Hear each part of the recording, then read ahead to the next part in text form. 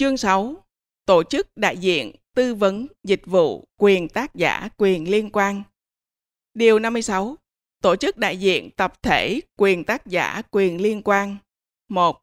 Tổ chức đại diện tập thể quyền tác giả quyền liên quan là tổ chức phi lợi nhuận do các tác giả, chủ sở hữu quyền tác giả, chủ sở hữu quyền liên quan thỏa thuận thành lập hoạt động theo quy định của pháp luật để bảo vệ quyền tác giả quyền liên quan.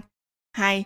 Tổ chức đại diện tập thể quyền tác giả quyền liên quan thực hiện các hoạt động sau đây theo ủy quyền của tác giả, chủ sở hữu quyền tác giả, chủ sở hữu quyền liên quan.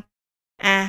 Thực hiện việc quản lý quyền tác giả quyền liên quan, đàm phán cấp phép, thu và phân chia tiền nhuận bút, thù lao, các quyền lợi vật chất khác từ việc cho phép khai thác các quyền được ủy quyền. B.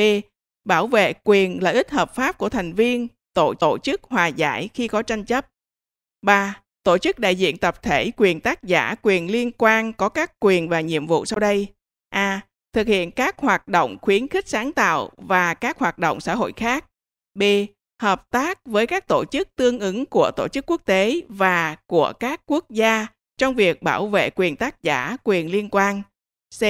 Báo cáo theo định kỳ và đột xuất về hoạt động đại diện tập thể cho cơ quan nhà nước có thẩm quyền. D.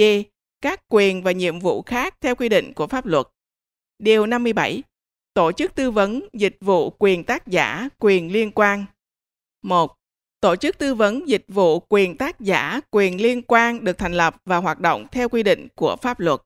2 tổ chức tư vấn dịch vụ quyền tác giả, quyền liên quan thực hiện các hoạt động sau đây theo yêu cầu của tác giả, chủ sở hữu quyền tác giả, chủ sở hữu quyền liên quan a tư vấn những vấn đề có liên quan đến quy định của pháp luật về quyền tác giả quyền liên quan. B. Đại diện cho tác giả chủ sở hữu quyền tác giả chủ sở hữu quyền liên quan tiến hành thủ tục nộp đơn đăng ký quyền tác giả quyền liên quan theo ủy quyền. C. Tham gia các quan hệ pháp luật khác về quyền tác giả, quyền liên quan, bảo vệ quyền và lợi ích hợp pháp của tác giả, chủ sở hữu quyền tác giả, chủ sở hữu quyền liên quan theo ủy quyền.